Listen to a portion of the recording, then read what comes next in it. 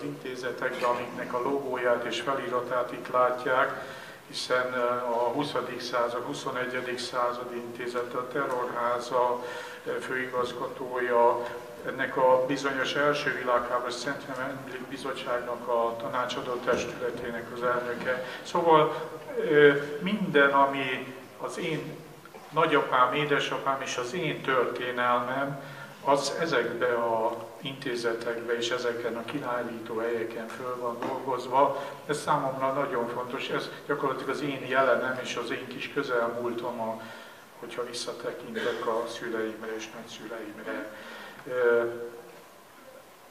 Ezért mondom azt, hogy őt, őt csak dicsérni lehet ezért a hatalmas munkáért, és azért a mai napért is. Hát ő Schmidt Mária, főigazgató asszony, akit felkérek a következőre.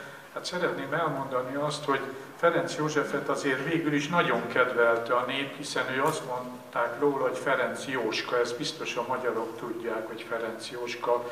Hát kedves mit Mária, én ülök a buszon, az Andrási úton, és beszélgetnek az emberek, és azt mondják, hogy Schmidt Mari. Tehát magát is nagyon szeretik az emberek. Kérem